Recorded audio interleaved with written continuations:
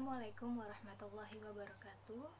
My name is Nurul Azizatul Husna from class E semester 2 and my number ID is 11950300171. Faculty of Adab and Humanity, State Islamic University, Sunan Gunung Jati, Bandung. Today, I make this video to fulfill my assignment in Ulumul Quran, course taught by Mr. Hanan. Material from this video is from Reconciling Between the Reason and Revelation and the Role of Intellect in Islam by Sheikh Yasir Qadi. Hope from this hope from this video I can get good score from Mr. Hanan. We all know that the first revelation that Allah sent down to us was Iqra. And Iqra was meant to be read, learn, and explore more. And the purpose of the first revelation for Prophet Muhammad is to tell him that Allah will give him knowledge directly. Iqra bismi rabbik, read or decide from Allah subhanahu wa ta'ala. And in the same series that Allah revealed Iqra, Iqra is repeated twice. Iqra bismi rabbikal ladzi khalaq and Iqra wa rabbukal akram. And some scholars have said that the purpose of the repetition is that the first Iqra is a reference to the Islamic sciences. Why? Because it, it, it is linked with the knowledge from Allah. And the second Iqra is the secular sciences that we derive. Because right after that Allah says, Iqra wa rabbukal akram alladhi 'allama bil qalam the one who taught by the pen, and what we read by the pen is we read the knowledge.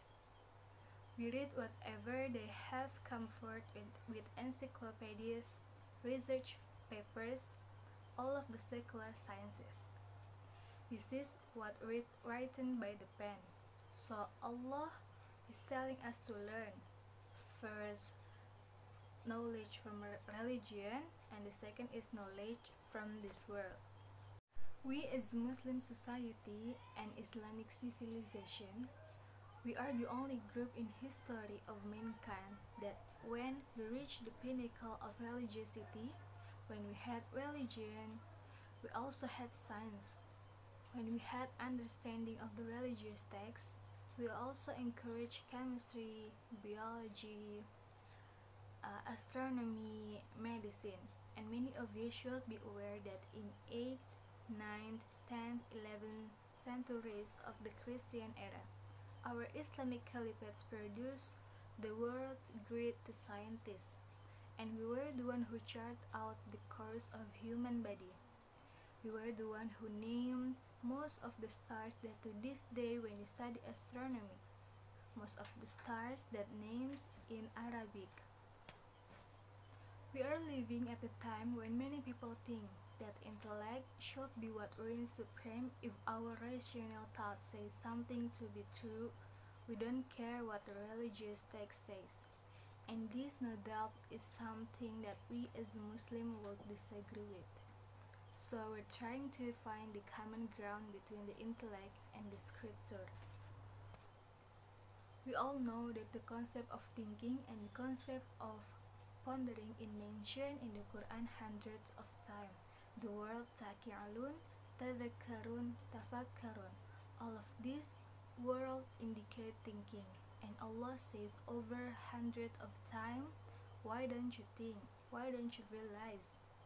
Allah challenges those who not believe in Him. Allah challenges them to think and come to the logical and rational. That there is only one God and God is worthy of being worshipped. Allah challenges us to think about the creation. Allah challenges us to think about the world around us and then Allah says, Doesn't it make sense that Allah that all of this perfection and harmony has one creator? So this is the bulk of the verses in the Quran about human intellect and that is to challenge people who don't believe in God and people who don't believe in Allah. Number two, the, sec the second category of the verses when Allah challenges us to think is to examine the life of the Prophet Muhammad and come to the conclusion that he is a true prophet. The first point is Allah challenges monotheism to think about Allah subhanahu wa ta'ala for being the one. And the second point is to think about the Prophet Muhammad for, be, for being a true prophet. And the third point is Allah challenges us to think. To, to use our intellect is to increase our iman. Even if we already have iman, Allah subhanahu wa ta'ala challenges us to think about to ponder over the creation and then increase our iman. And one of the greatest example of this is Allah says that believers are those who they think about the creation of the heavens and earth. يتفكرون في خلق السماوات والأرض. Go ahead and do your research, and then have your iman increase as you wonder and marvel at the creation of Allah. Point is where Allah challenges us to use our brain, to use our mind. Allah asks us to derive the meaning of the Quran and Sunnah extract wisdoms from the Quran. Never does Allah tell us in the Quran to use our intellect to challenge the meaning of the Quran. And if you think about about it, this is nonsensical.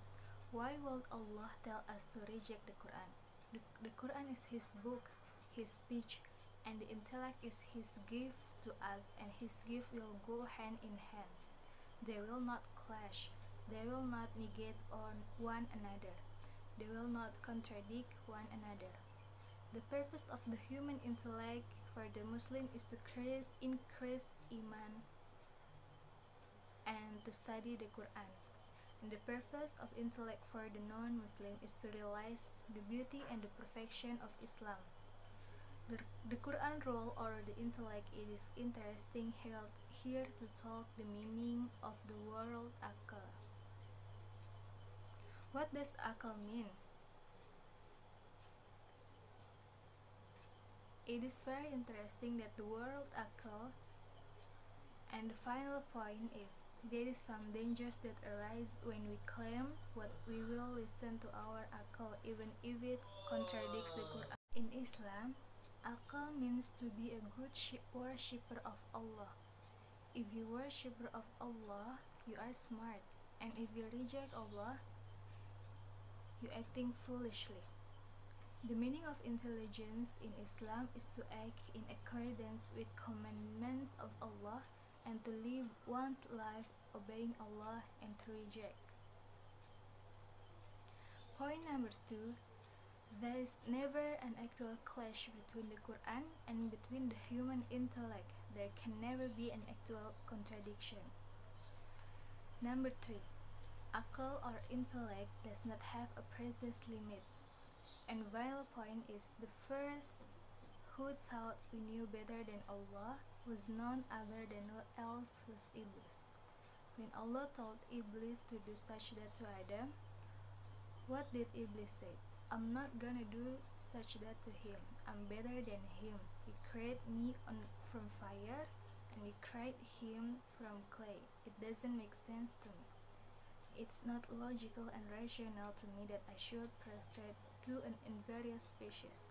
And anybody who prefers his own intellect over the Quran has an element of Iblis.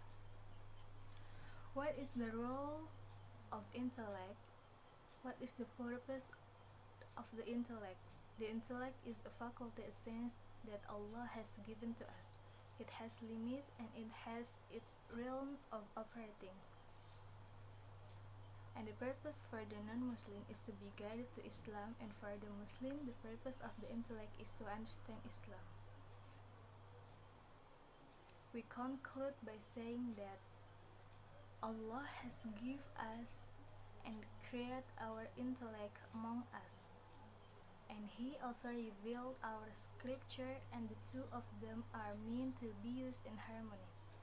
And when we use our intellect to believe in the Quran and to understand the Quran, then we using it in complete harmony and we reach the pinnacle of our humanity. But if we attempt to derive a clash to bring forth contradiction, then we will lose out on our intellect and we will also lose out on believing in Quran. So that is the video from me. I hope this video can bring me a good score from Mr. Hanan and hope this video can make you understand reconciling between reason and revelation and the role of intellect in Islam. Wassalamualaikum warahmatullahi wabarakatuh.